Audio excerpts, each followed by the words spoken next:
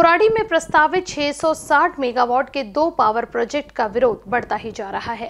केंद्रीय मंत्री नितिन गडकरी द्वारा ऊर्जा मंत्री देवेंद्र फडणवीस को पत्र लिखकर यह प्रोजेक्ट कोराडी से हटाने की मांग की गई थी। विदर्भ कनेक्ट द्वारा भी इस प्रोजेक्ट का लगातार विरोध किया जा रहा है। इसी श्रृंखला में आज विदर्भ कनेक्ट के अध्यक्ष मुकेश समर्थ और विदर्भ कनेक्ट पदाधिकारियों ने कांग्रेस प्रदेशाध्यक्ष नाना पटोले से भेंट कर इस मामले पर चर्चा की। ऐसी जानकारी भी मुकेश समर्थ द्वारा दी गई। आमची मागणी ही आहे की नागपूरमध्ये जे कोराडी पॉवर प्लांटमध्ये सहाशे साठ मेगावॅटचं जे नवीन उभारणी करतात त्याला आमचा विरोध आहे.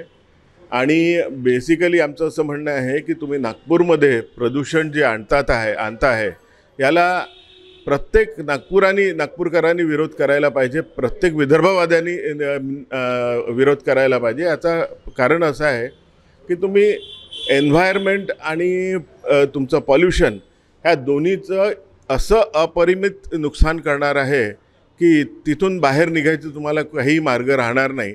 नागपूर जे ऑरेंज सिटी आहे ते उद्या कॅन्सर सिटी म्हणून ओळखल्या जाईल. याची प्रत्येकाने नोंद घ्यावी.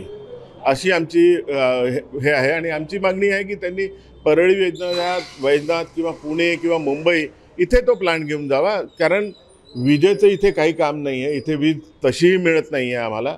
आणि तसंही विदर्भामध्ये वीज सरप्लस आहे. आणि सगळी गरज तिकडे आहे आणि त्याच्याकरता आम्हाला फक्त खा राख आणि हीट ह्या दोन्ही आम्हाला देऊ करताय तुम्ही.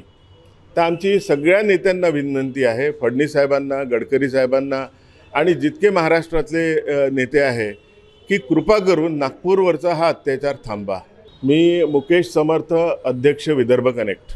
एनबीसी न्यूज के लिए कैमरा पर्सन राजकुमार मोहड़ के साथ क्षितिजा देशमुख की रिपोर्ट।